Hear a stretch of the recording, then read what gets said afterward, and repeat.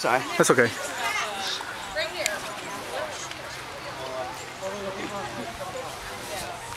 gotta remember.